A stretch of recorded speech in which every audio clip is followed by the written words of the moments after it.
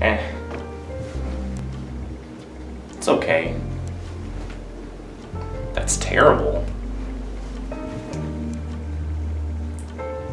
I actually kind of like this one. Finally, some real art! Every artist starts out the exact same way. Terrible. Hey, art's hard. When starting out, art drawings usually look something like this. We don't know how to draw anything detailed yet, so things stay very simple, with most of us drawing humans as basic stickmen. Or in my case, these weird potato-looking guys. But as one's art improves and gets more and more detailed, people sometimes start to look down on their old stickman art, because it's seen as the sort of default beginner art style people don't consider it real art.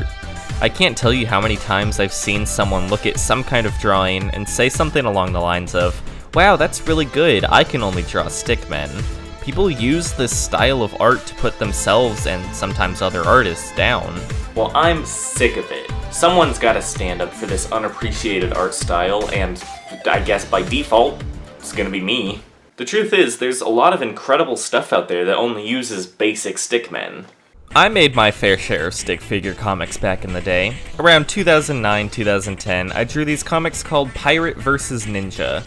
If you've seen Mad Spy vs. Spy, it was basically that, but with these little stick pirates and ninjas. It wasn't very good, but I was in middle school and nothing I was making was particularly good.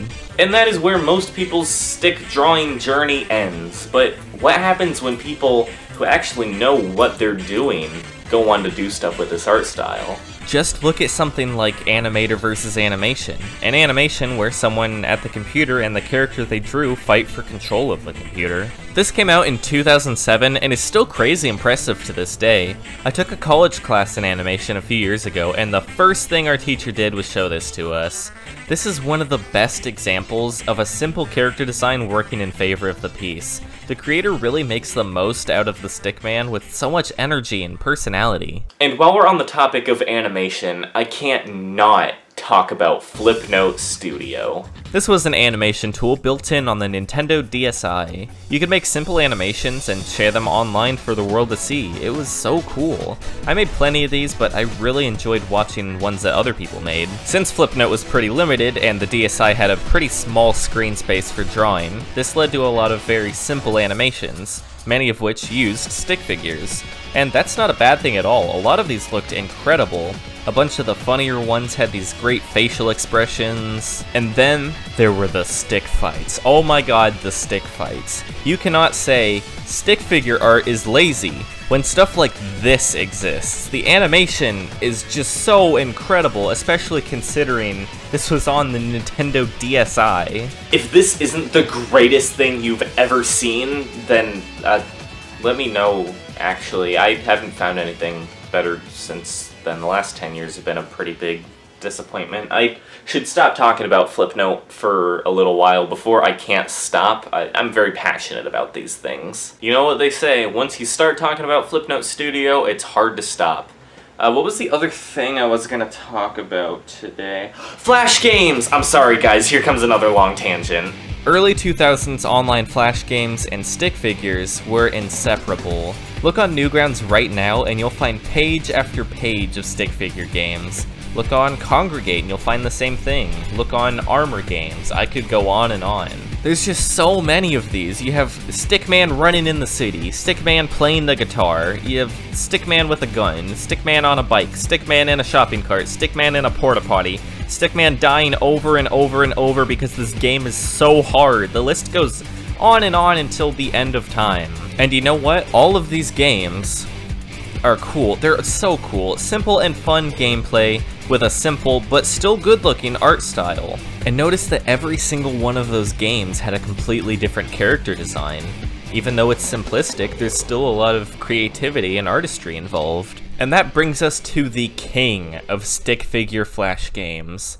Fancy Pants Adventures. I'm not going to talk about the gameplay itself, obviously it's incredible, but I'll talk about that in length some other time. No, right now I want to focus on Fancy Pants himself. Fancy Pants Adventures isn't just a cool series of games because the gameplay is good, but also because the character is good, as weird as that might sound. For such a simple character, he has such detailed animation. The animations aren't there just for show though, part of what makes the game so fun is just controlling the character. Basic actions like running and jumping feel so good because of how he moves. It makes the gameplay feel a lot more satisfying, and the animation gives so much personality to the character of Fancy Pants, a character who never speaks. He looks like this, yet feels like a real person because of how he's drawn. I usually hate silent protagonists in games, but Fancy Pants is one of the few exceptions. The newest Fancy Pants game is actually on Steam, and it's really cool to see quality stick figure games actually having some success there.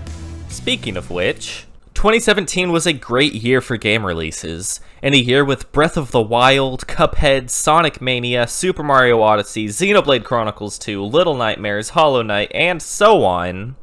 The best game of the year looked like this.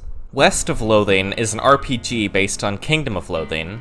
There's great gameplay, practically non-stop jokes, and an art style unlike any other. I love how this game looks. The art style fits perfectly with the humor and tone of the game, but also just looks genuinely good.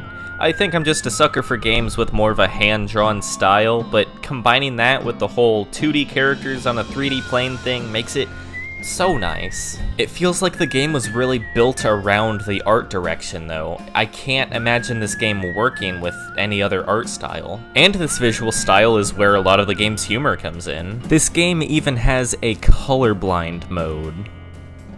Yeah. You know, the best joke in West of Loathing isn't even a joke in the actual game. The physical release comes with this concept art book.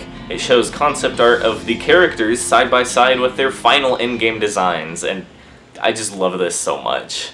I guess my whole point with this video is that stuff that looks like this shouldn't be looked down upon because it's simple. It shouldn't be associated with amateurs or laziness. It's a valid art style, and people have gone on to prove that you can make beautiful works of art with it, just like any other art style.